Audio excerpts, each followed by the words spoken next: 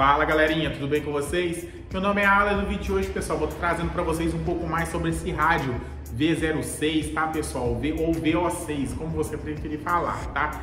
Eu vou estar tá mostrando para vocês se compensa ou não comprar um rádio desse.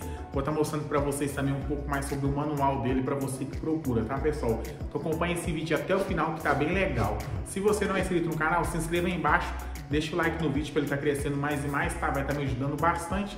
Então é isso, sem enrolação, bora pro vídeo?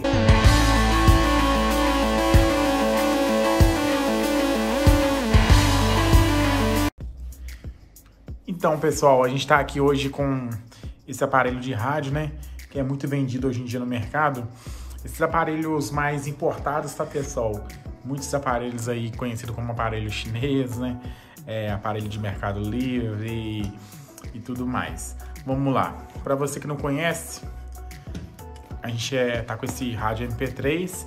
Tem duas maneiras de pronunciar que muitos pronunciam aí, V06 ou VO6, tá, pessoal? Aí fica critério seu. O modelo desse rádio aqui é o Tokyo tá bom? Eu tenho um vídeo no canal aí ensinando a instalar ele, eu tenho um vídeo de unbox dele. O vídeo hoje é mais um bate-papo aqui e também aproveitar e mostrar o manual dele também, tá, pessoal? Para você que procura, tá? Esse aparelho, pessoal, ele é bem completo. Eu gosto dele, eu já instalei vários dele, já vendi. Ele é bem completinho, ele tem USB, né? Cartão de memória, auxiliar, tem rádio e Bluetooth. Então é um aparelho bem completo, tá, pessoal? Uma das coisas que eu mais gostei dele é o tamanho, tá bom? Tá vendo? Ele é um aparelho bem fininho.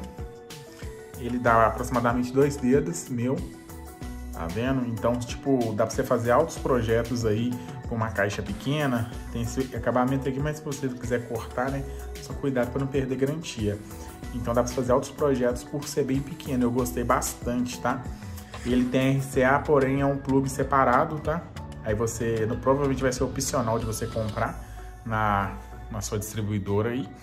Tá, pessoal? Um rádio bem bonito, assim, de vermelho. Então dá pra gente adaptar em vários negócios. Para você que quer aprender a instalar, você confere no canal que tem um vídeo ensinando. Eu gosto bastante desses chicotes universais 16 vias que dá pra gente usar em outros rádios também. Ele vem com duas chavinhas para você estar tá arrancando ele do seu painel. Ele vem com essa estante, essa latinha aqui pra gente estar tá fixando pro rádio não ficar bambo.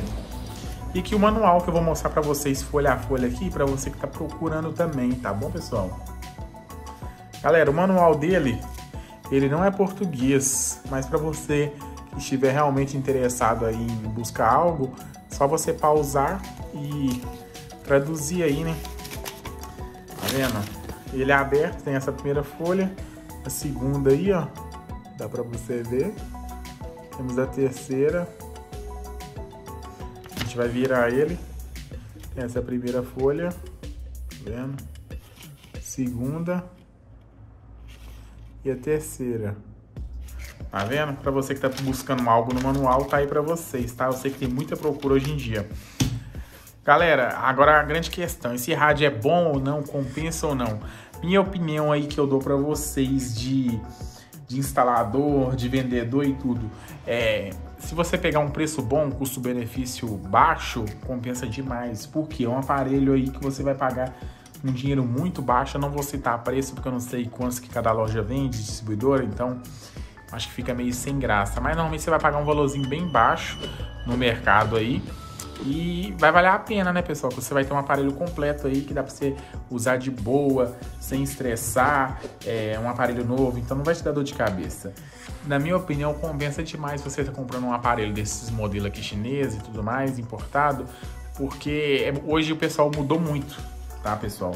Então, não é aqueles aparelhos por ser pequeno que vai ser de má qualidade. Então, a saída dele é até que é bem forte, toca bem. Eu já instalei em caixas automotivas mesmo e dá um som muito bom, tá, pessoal?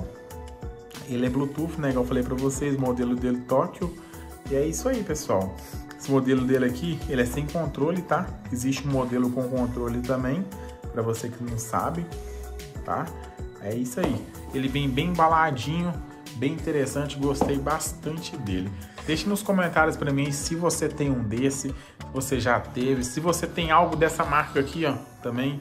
Eu tenho até um strobo aí no canal mostrando dele, uns olhinhos brancos de LED, que eu achei bem interessante, que é da mesma marca.